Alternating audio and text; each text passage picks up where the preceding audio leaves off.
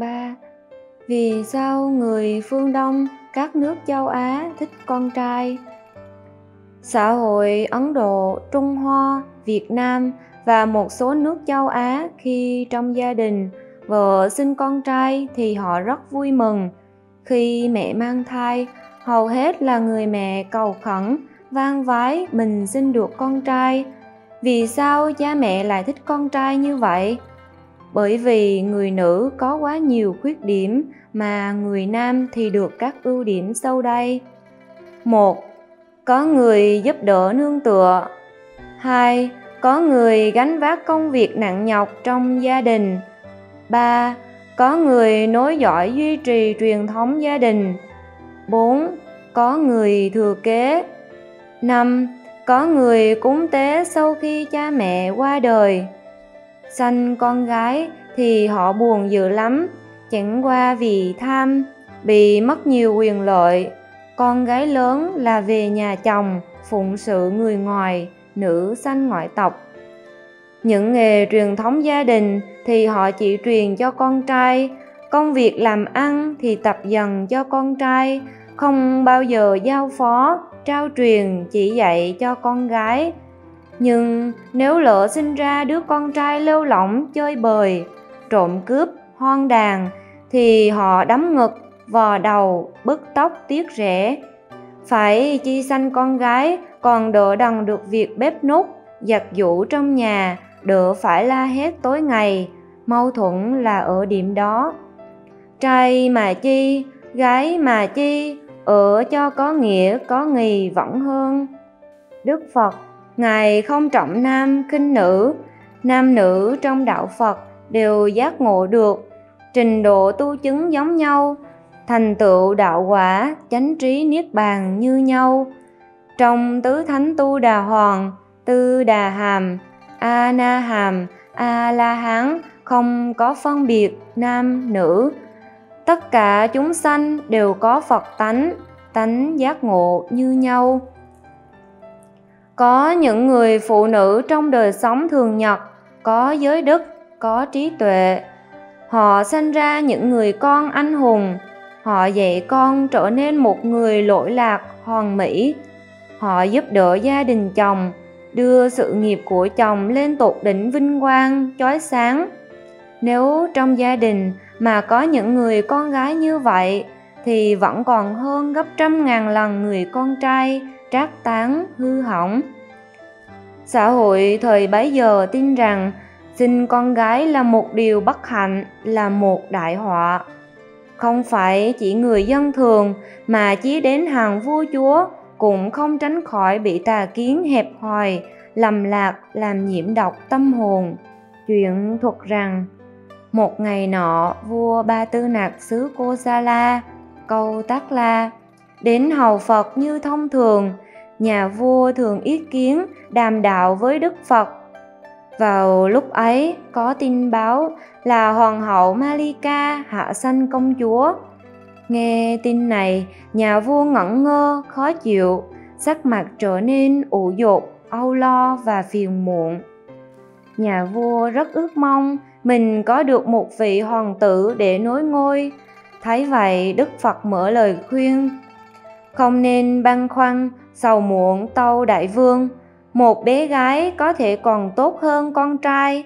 Vì lớn lên, em có thể thông minh và đức hạnh. Là một người vợ hiền, mẹ và em chồng sẽ yêu quý.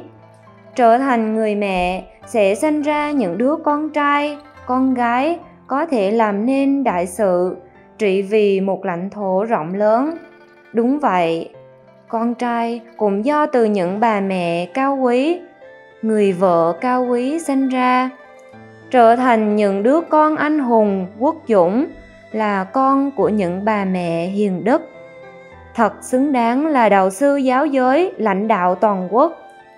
Lời nói của đức phật thoáng nghe tưởng chừng như là lời ăn ủi nhà vua nhưng thực tế về sau sự việc diễn tiến giống y như lời tiên tri của ngài công chúa con vua ba tư nặc về sau gả chồng xứ khác, trở thành thắng mang phu nhân, được Đức Phật trực tiếp chỉ dạy, giáo hóa. Bà đã đem giáo pháp Đức Phật đến hoàng khai một nơi mà chưa từng một ai biết Phật Pháp. Bà sinh ra những người con anh hùng. Bà là một người phụ nữ có nhiều trí tuệ lẫn giới đức, đã làm rạng danh dòng họ, được gia đình chồng và mọi người kính yêu. Ngược lại, về sau, vua Ba Tư Nặc có thêm một hoàng tử đúng như sự mơ ước, đặt tên là Tỳ Lưu Ly. Hoàng tử rất được vua cha yêu chiều, nhưng về sau, hoàng tử lại là đứa con ngộ nghịch, bất đạo, bất hiếu, hung ác, bất nhân, đã áp bức vua Ba Tư Nặc cho đến chết đói ngoài thành. Tỳ Lưu Ly mang quân về giết sạch dòng dõi thích ca, gia quyến bên ngoại, sang bằng kinh đô ca tỳ la vệ. Như vậy, so lại nàng công chúa Thắng Mang có giá trị gấp trăm ngàn lần hoàng tử tỳ lưu ly. Phật dạy, người phụ nữ có nhiều khuyết điểm, do những khuyết điểm này mà thiếu phước, kiếp sống bất hạnh, khổ đau ở ngoài cuộc đời, mà còn bị rất nhiều chướng duyên trở ngại cho việc tu hành giải thoát. Tuy nhiên, người nữ cũng có nhiều trí tuệ, giới đức không thua gì nam nhân, nếu họ biết khắc phục, sửa chữa những khuyết điểm của mình mà phát huy những ưu điểm thì cũng đạt được những hạnh lành cao tột ngang hàng nam giới. Lịch sử Trung Quốc, những người đàn bà trí tuệ, đạo đức dạy con, chúng ta thấy có trường hợp mạnh tử rất được người trong nho giáo tôn quý. Đó là nhờ công lao nuôi dạy của người mẹ. Người mẹ mạnh tử rất hiền lành, nhân đức và trí tuệ. Gương dạy con của bà Mạnh Mẫu rất đặc biệt. Khi Mạnh Tử còn thơ, nhà ở gần các ông đạo tỳ phục vụ đám chết, Mạnh Tử bắt chước vẽ mặt mày, nhảy múa đưa ma như đạo tỳ. Thấy vậy, bà mẹ dời nhà đi nơi khác, ở gần lò giết heo. Mạnh Tử bắt chước chơi trò làm heo, bà lại dời nhà đến gần trường học mạnh tử bắt chước người ta cấp sách đi học và siêng năng học tập. Bà nghĩ rằng đây chính là chỗ ở tốt nhất, bà nhất định làm nhà kiên cố ở luôn tại đấy. Một hôm cha mạnh tử phải ra chợ, mạnh tử đòi theo. Người cha hứa hẹn, con chịu ở nhà, cha ra chợ sẽ mua thịt heo về cho con ăn. Mạnh tử chịu ở nhà, vì gia cảnh quá nghèo cho nên trong các bữa ăn không bao giờ có thịt để ăn. Xế chiều người cha về nhà với hai bàn tay không. Nhìn nét mặt thất vọng của con, bà Mạnh Mậu đi lấy cái áo quý nhất của mình đem bán, mua cho con một miếng thịt heo. Người cha không hài lòng, ngăn cản vì sự nuông chiều con. Bà Mạnh Mậu nói, muốn dạy con đừng nói dối, thì mình cũng đừng nói dối, đừng gạt nó.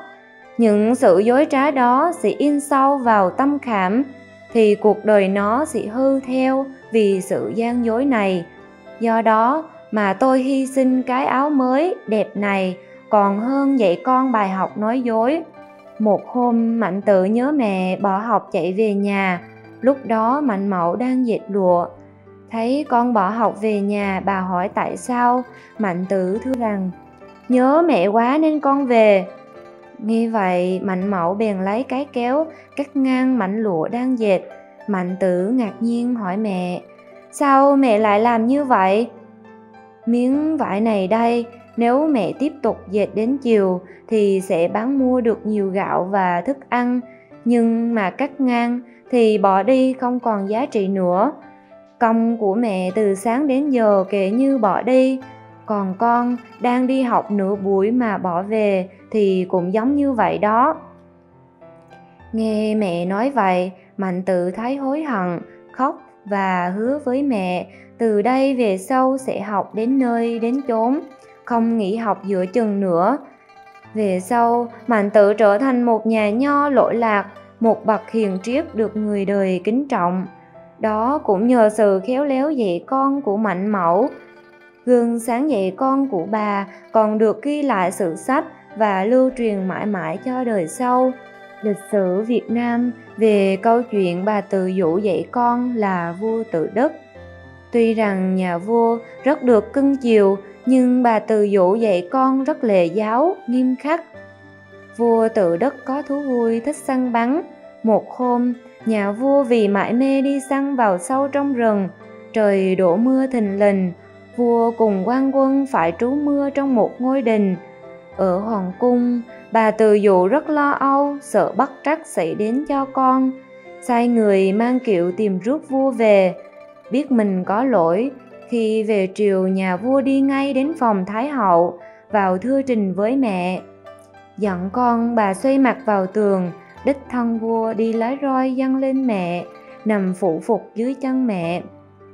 Chịu bị đánh đòn, thấy con biết lỗi, Thái hậu dạy rằng Lần này mẹ tha cho con, nhưng từ đây phải ghi nhớ đừng tái phạm nữa, vì thú vui riêng của mình mà để quan quân phải dầm mưa dãi nắng khổ cực. Trăm họ còn làm than cơ cực, nên để thì giờ, thời gian và tâm trí mà lo cho dân, cho nước, đừng mãi mê rong chơi vô bổ như thế. Vua tự đức lạy tạ mẹ lui về cung, đêm đó, nhà vua truyền cho quân lính, đem vàng bạc thưởng cho quan quân đã cực khổ vì mình. Đồng thời thức suốt đêm, để xem công văn và duyệt lại những văn bản của cận thần dâng lên. Nhà vua làm việc suốt đêm để sửa sai khuyết điểm về việc vì vui riêng mà quên việc nước. Trong lịch sử phật giáo bắc tông, khi chư phật tử đọc kinh, dịch từ phạn ngữ ra nghĩa việt nam để mọi người hiểu nghĩa lý tu hành, thì tất cả phải nhớ ơn ngài kumala thập người được thừa hưởng trọn vẹn uy đức, trí tuệ và chí nguyện của bà mẹ. Mẹ kumala thập là công chúa nước uy tư. Khi bà còn là con gái, đã mang chí nguyện xuất gia. Vì là con vua, lá ngọc cành vàng, vua lại có một mình bà là con cho nên ý nguyện của bà bị vua cha bác bỏ, bà năn nỉ mãi không được. Cuối cùng bà suy tính cách khác, thưa với vua cha. Con sinh ra đã có chí nguyện xuất gia, nhưng vì lỡ sanh làm con nhà quyền quý cao sang, không được đi xuất gia như ý nguyện. Nếu phụ vương không bằng lòng cho con xuất gia, thì xin cho phép con được chọn người chồng theo ý muốn của con cha mẹ rất là thương con, nên vua và hoàng hậu đều bằng lòng lời van xin của công chúa. Bà bèn cất một cái nhà ở giữa ngã tư đường. Ở đó, bà bí mật theo dõi kẻ qua người lại.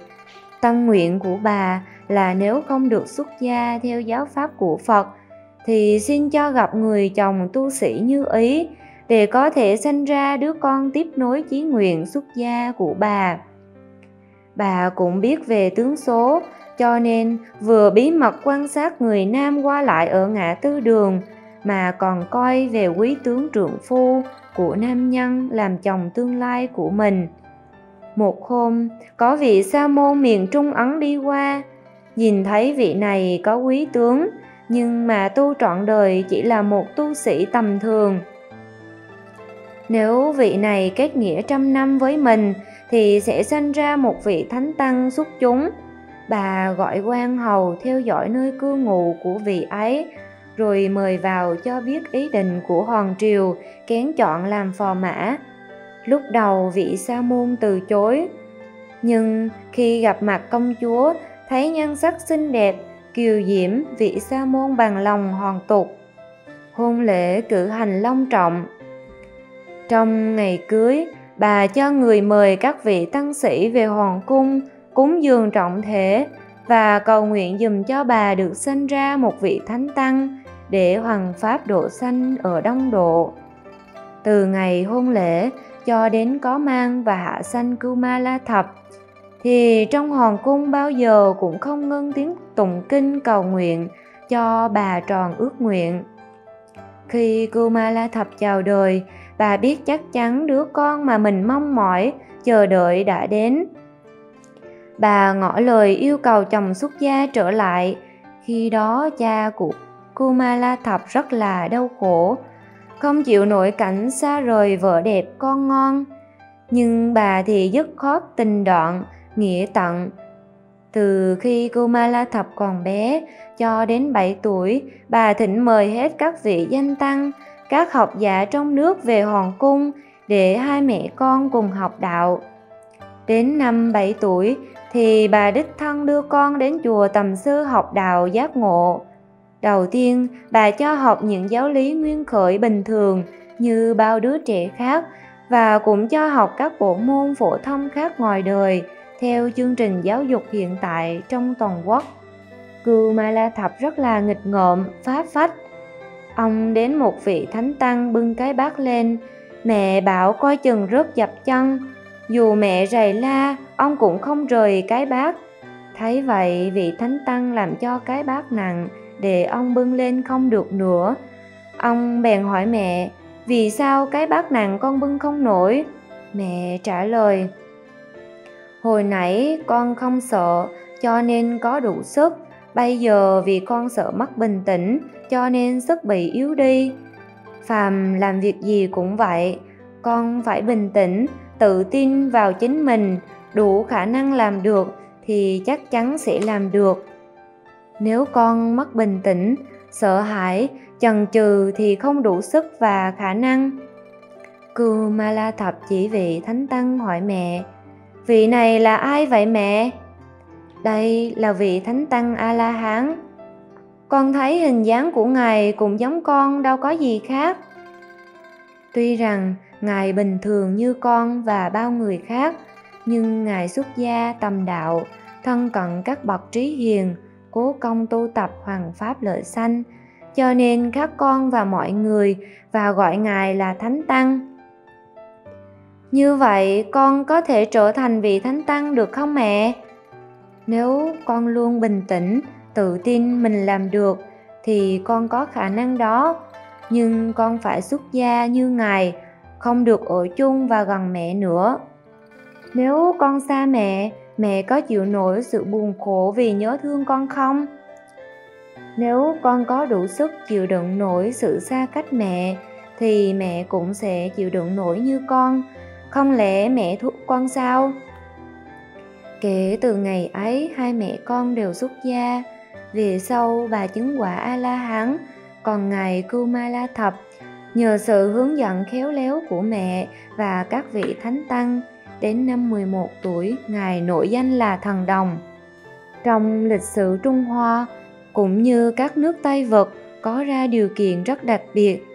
Người ta cự quân đi chinh phạt nước nào là để chiếm đoạt của cải, tiền bạc, châu báu, đất đai và phụ nữ đẹp nhưng ngài kumala thập có mặt ở đâu?